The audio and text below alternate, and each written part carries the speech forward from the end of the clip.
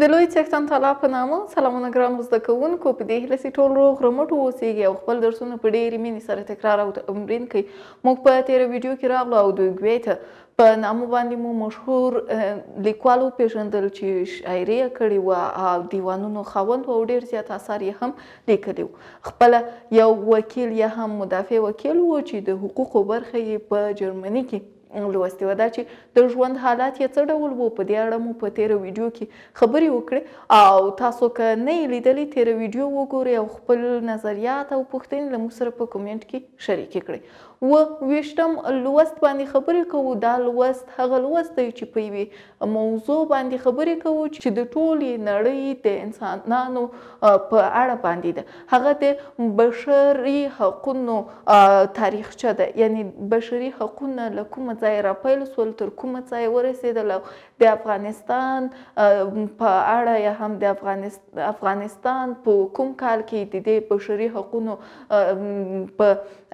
چارچوکاټ کې یا هم په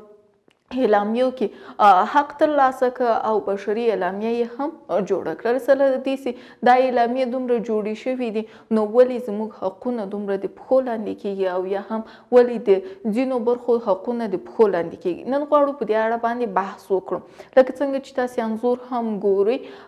همغه د بشري حقونو دغه نخه او علامت موږ تاسو پوهیږو چې بشري حقونه یعنی سي د ټول بشر په مجموع کې په بر کې نیسي نو په بشري حقونو کې بنسټ او اساس څه ده په بشري حقونو کې بنسټ او اساس انسانیت دی نو ځکه په ټولې نړۍ کې یو شان راځي دغه برخه یا دغه مفکوره ذهنیت دا د لومړي ځل لپاره په لویدیځ کې رامنځته سوله سي یوه ډېره سیاسي اوږده مخینه یا هم تاریخي مخینه لري د بشري حقونو زړی یا هسته هغه څه چې واقعاً راځي او دغه د بشري حقونو خبره موږ ته کوي هغه اسلام کړې ده او په ولسمه پېړۍ کې په اروپا کې دغه سیاسي حالاتو راغلل او په دې اړه باندې خبرې وکړلې سي د دې موجوده سند چې له موږ سره ده هغه د جان لاک سند ده یا هم اثر ده چې ده لیکلی ده د حکومت کولو دویم تړون دغه په کال شپاړس سوه اته اتیایم کې چاپ سوی ده. په دې کې په دې خبرې شوې دي چې حکومت معذف ده یا حکومت په دې باندې مکلف ده چې بشري حقونه چې شی کړي رعایت کړي او رعایت به تر هغه د حکومت پیروي کوي چې دوی دا اصول ومني. یعنی حکومت به د رعیت د بشر حقونه تر هغه منی سی دغه رعیت راسی او د اصولو اصول ومنی. دلته کله سی اتلسمه پیړۍ کیږی نو دوی په اتلسمه پیړۍ کی د فرانسی انقلاب نه وروسته په بشری حقونو نړیواله اعلامیه را جوړیږی. کله سی د بشری حقونو نړیواله اعلامیه دلته را جوړیږی او پری فکر کیږی په ولس سوه اته نویم کال کی دغه د بشر د حقونو نړیواله اعلامیه تصویبیږي. کله چې دا تصویب شوه په دې اعلامیه کې اوولس مادې راځي چې په دې اوولسو مادو کې له هغې جملې څخه لومړنۍ ماده یې د انسان پر ازادي او برابري خبرې وې، دویمه ماده یې سیاسي ټولنې موخه وه او دریمه ماده یې همغه حاکمیت مسله وه. دلته نورې ډېرې خبرې هم راځي، مثلاً د زیانمن عمل مخنیوی راځي، د قانون پېژندل راځي، د هغو حقونو چې د ښځو تر پښو لاندې کېږي، د هغو حقونو مخنیوی راځي، یا هم ځینې نور خبرې راځي چې دلته په اوولسو مادو کې یو ځای کېږي او د بشري حقونو نړیوالې اعلامیه کې راځي. وروسته له دې نه، وروسته له دې چې دغه ټولې خبرې کېږي، بالاخره د دې حقونو د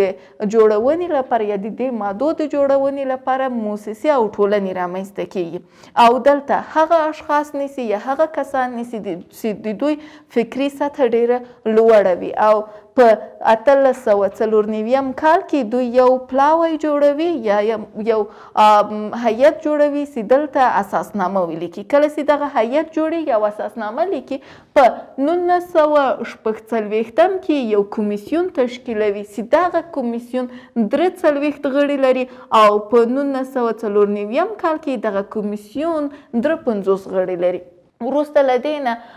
راځي او یوه بله اعلامیه همدا اعلامیې په دوام سره اعلامیه تش... اعلامیه جوړوي چې هغه په نولس سوه اته څلوېښت کال کې ده او دغه اعلامیه چې جوړېږي د نړیوالو حقونو دا په دېرس مادو کې جوړېږي. په کال نولس سوه پنځوس تم کې غونډه جوړوي چې په دې غونډه کې همغه د ملګرو ملتونو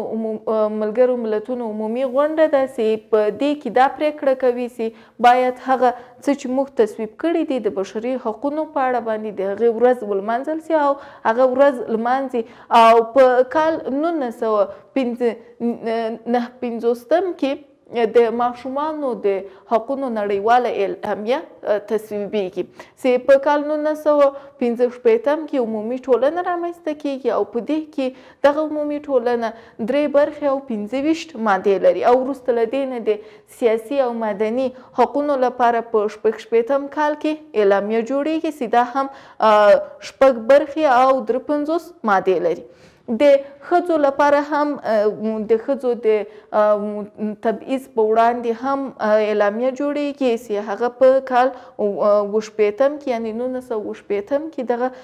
اعلامیه د ښځو په وړاندې د تبعیض په مسله باندې اعلامیه جوړیږي او په نولس سوه اته شپېتم کې دوی راځي او یو پلاوی یا هم د ارزونې یو ټیم جوړوي چې دوی وغواړي په دې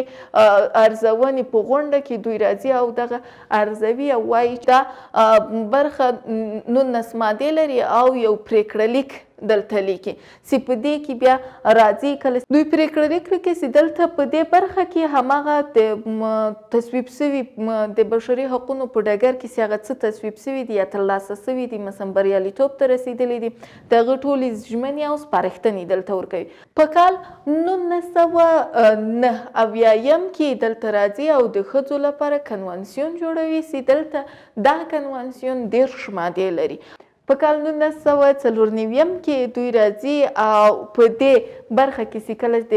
ښځینوو لپاره کنوانسیون جوړوی نو دلته په دی کنوانسیون کی یو سلو پنځه ویشت هیوادونه شامل دی سی په دی یو سلو پنځه ویشتو هیوادونو کی افغانستان هم شامل دی. په کال نولس سوه نویم کی اسلامی اعلامیه تصویبوی سی دا هم پنځه ویشت مادی لری نو په دی برخه کی دا یو معلوماتی لوست وو ګرانو زده کوونکو ددی لپاره سی موږ د بشری حقونو په تاریخچه باندی پوه سو موږ په تیرو ټولګیو کی د